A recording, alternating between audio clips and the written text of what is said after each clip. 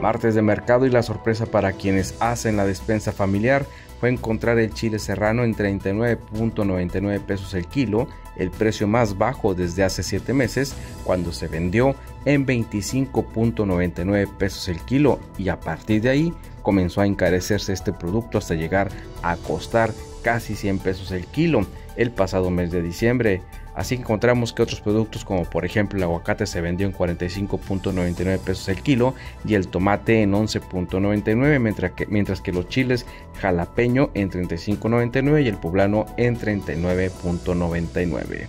Finalmente, la tapa de huevo con 30 piezas, artículo de primera necesidad, se mantuvo en casi 100 pesos la tapa. Cabe recordar que hace 7 meses la misma presentación de blanquillo se vendía en 80.99 pesos. Para Líder Web, José Luis García con información e imágenes de Feliciano Diegues.